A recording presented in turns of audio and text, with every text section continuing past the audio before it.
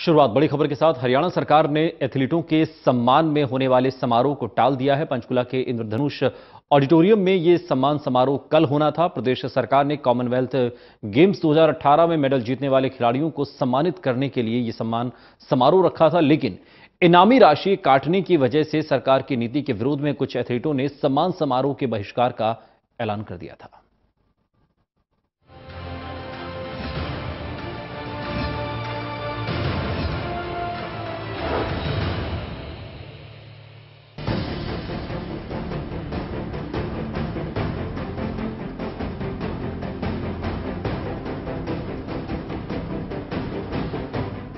हरियाणा सरकार ने Commonwealth games 2018 में मेडल जीतने वाले खिलाड़ियों को सम्मानित किए जाने के कार्यक्रम को टाल दिया है। दरअसल, नीरज चोपड़ा, मनोज कुमार, विनेश फोगाट और बजरंग पुनिया समेत हरियाणा के कई एथलीट हरियाणा सरकार के उस कदम का विरोध कर रहे हैं, जिसमें मेडल जीतने वाले एथलीटों की इनामी राशि को कम करने की बात कही गई है।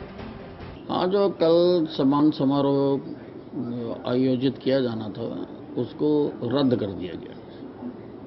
पर क्या वजह कारण है? क्या वजह हमारी जो खेल नीति है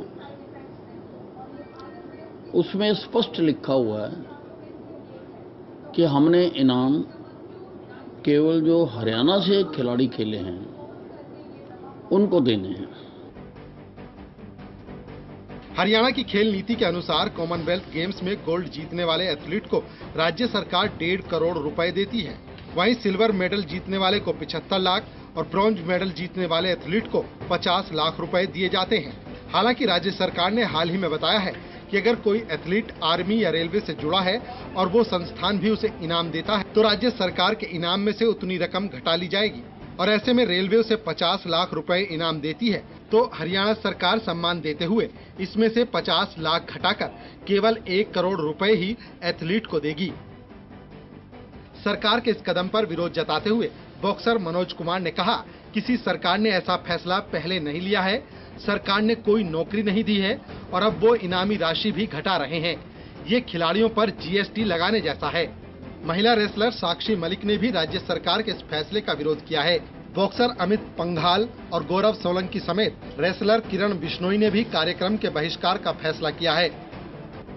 खिलाड़ियों के विरोध के बीच हरियाणा के युवा और खेल मामलों के मंत्री अनिल विज ने सख्त रवैया अपनाते हुए कहा कि जो खिलाड़ी दूसरे संस्थान का प्रतिनिधित्व करते हैं, ये उन खिलाड़ियों का अधिकार भी नहीं है। फिर भी हमने खेल नीति में बदलाव किया और उन्हें इनाम देने का फैसला किया।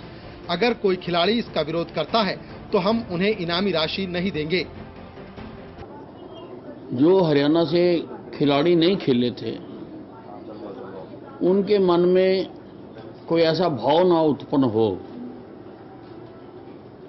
कि हरियाणा से खेलने वाले को तो डेढ़ करोड़ रुपया मिले और रेलवे से खेलने वाले को जो रेलवे की आज तक की नीति है, पाँच लाख रुपए है, कोई उनमें हीन भावना ना आए।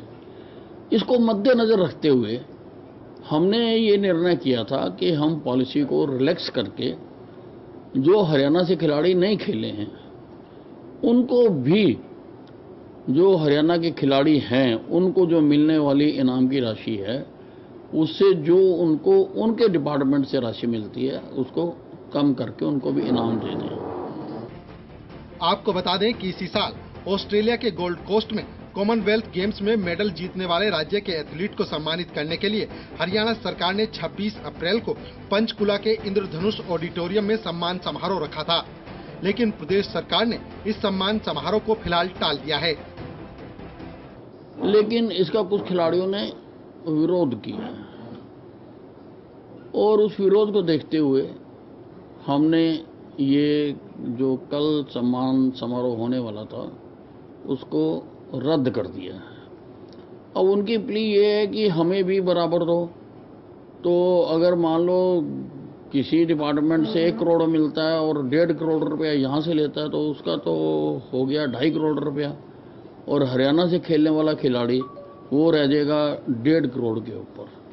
तो इन सारी बातों को मद्देनज़र रखते हुए हम इस जो खेल नीति है, इस पर दोबारा हम विचार कर लें अच्छी तरह से। इसलिए कल होने वाला समारोह रद्द कर दिया तो खेल नीति में सम्मान समारोह को टालने के पीछे प्रदेश सरकार की ओर से कोई वजह तो नहीं बताई गई। लेकिन प्रदेश के एथलीट द्वारा सम्मान समारोह के बहिष्कार को ही समारोह टालने की बड़ी वजह माना जा रहा है। पंचकुला से टोटल न्यूज़ के लिए अनिल कुमार की रिपोर्ट।